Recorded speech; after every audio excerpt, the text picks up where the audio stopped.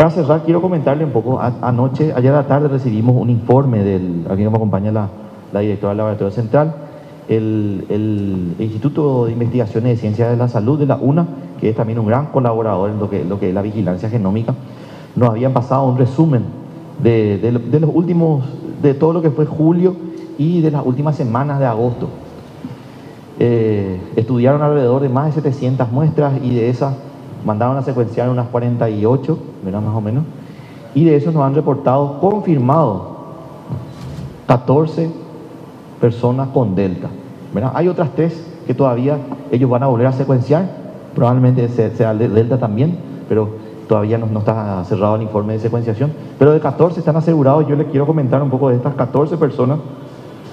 Em, nuevamente, áreas del área metropolitana de Asunción, en Asunción y Central. De los 14, 11 son de Asunción, barrio Alberto Herrera, Luis Alberto Herrera, barrio Obrero, Sajonia, San Vicente, Tablada Nueva, Vista Alegre. Y de Central, también de Fernando de la Mora y Lambaré. Son los casos que, de estos 14, que bueno, hay de 15 años hasta uno que tiene más de 80, pero todos están, por suerte, muy bien, ninguno está internado, todos están, son casos relativamente leves.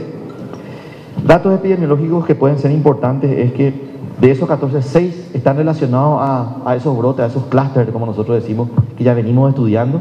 Son los familiares de los casos ya anteriores, que los que tuvieron Delta contagiaron a sus familiares su contacto y vuelven a, a dar Delta en este estudio. Seis personas no tienen antecedentes de viaje.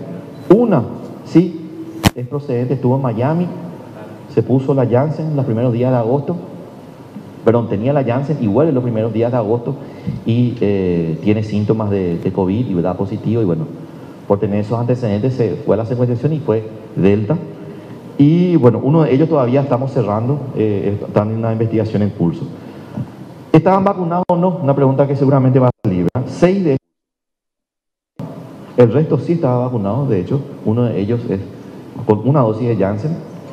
Eh, cinco estaban con una primera dosis y dos de ellos ya tenían ambas dosis. Lo bueno es que están bien. Hasta ahora, según ese informe que nos da el X, coincide en un porcentaje de todo lo que ellos van eh, haciendo un screening y secuenciando, de todas las muestras que ellos eh, procesan. Alrededor del 1%, 2% es delta.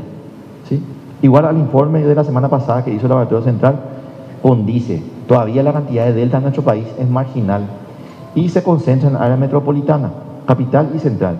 ¿Qué pasa en Ciudad del Este? ¿Qué pasa en, Encarnación? ¿Qué pasa en Pedro Juan? También se procesan muestras de ahí. Todavía no está saliendo. Salen muchas muestras todavía de P1 o gamma. ¿Qué pasa en Brasil? Yo creo que eso es lo que nos proyecta un poco en el futuro. En Brasil en los estados cercanos a Paraguay todavía es bajo, es del 1 o 2% también la, prevalencia de la variante Delta. Lo que ocurre en Curitiba, lo que ocurre en Foz, lo que ocurre en Campo Grande, en, Punta Porá, Gran Dobrados, en en estas ciudades que, tienen mucha comunicación terrestre con el Paraguay, todavía es marginal la cantidad de Delta. Pero ¿qué pasa en San Paulo? ¿Qué pasa en Río Janeiro? Allí sí Delta está aumentando. En San Paulo la ciudad de San Pablo no tanto hacia alrededores, pero en la ciudad ya es alrededor del 25% de las muestras es delta. ¿Qué pasa en Río Janeiro? Alrededor del 45% es delta. ¿Cómo está la epidemia ahí? Sube, baja y está en una meseta. Dejó de bajar. Dejó de bajar los casos en San Pablo y en Río entraron en una meseta.